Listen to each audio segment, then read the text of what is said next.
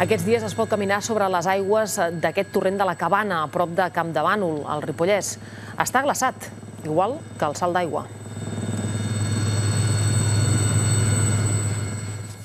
Les imatges es repeteixen, de fet, en molts altres llocs, especialment al centre de Catalunya. Una situació excepcional, fruit sobretot d'aquest perseverant fred intens. La persistència de les baixes temperatures dels últims dies, juntament amb la mica de neu que va caure la setmana passada, ens ha mudat d'hivern molts paisatges de la Catalunya interior. Hem vist moltes imatges de gel últimament, però avui les mostrem amb la perspectiva de l'helicòpter.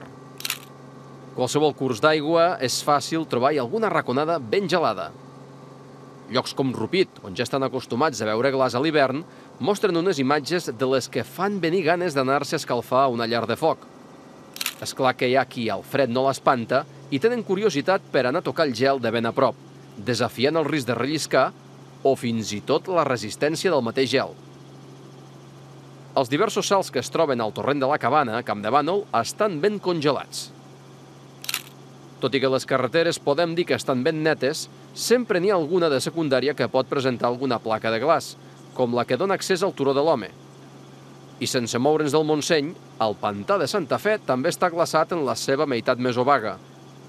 A l'altiplà central encara tenen més restes de neu, i amb les temperatures d'aquests dies hi ha ombradius que en tindran unes quantes jornades més.